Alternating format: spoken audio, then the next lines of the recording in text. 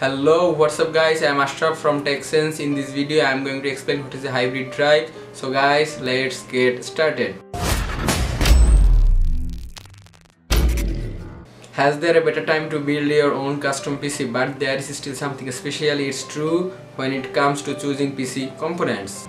A storage drive is the most important part of your PC. PC builders find it very difficult to choose the best storage drive for them.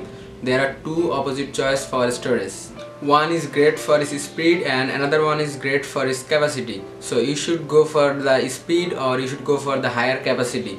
On a ATX PC case there should be enough room for a SSD and a HDD but if you are a laptop user and you want the speed of SSD and want more capacity then the SSHD or solid state hybrid drive is the right choice for you don't think it's a genetically modified crop that grows on trees. Theoretically it is modified, it, contains both the NAND flash and the controller that you will find in a SSD and the spinning platter of an HDD.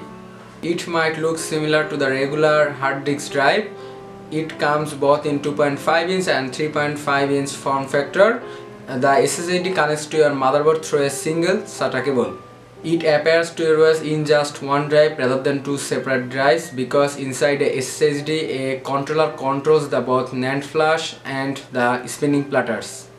The controller also controlled which data will go to the SSD and which data should go to the HDD. After a certain amount of time the drive will learn which files are accessed more frequently and which are not. In this operation there is no need and user input the firmware of SSHD will do it automatically. Typically a SSHD comes with a 32 gigabytes of flash storage.